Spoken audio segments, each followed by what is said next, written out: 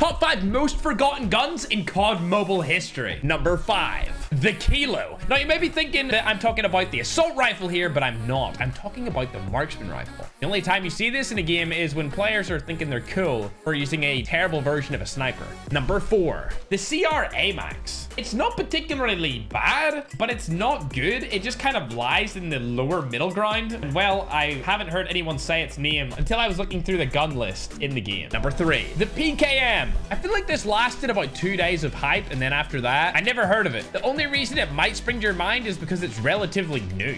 Number two, on the other hand, is quite old now, and it's terrible. The Echo Shotgun. If you use this, you're just trolling yourself. And number one, the MK2. I never see it, ever. Subscribe!